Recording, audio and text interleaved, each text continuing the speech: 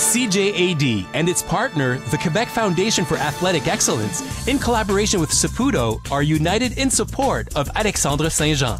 The long track speed skater from Quebec City won the silver medal in the 1,000 meter event at the Canadian Championships and finished second at the National Olympic Selection Trials. The 24 year old skater, who is studying dentistry at Laval University, will participate in his first Olympic Games this winter.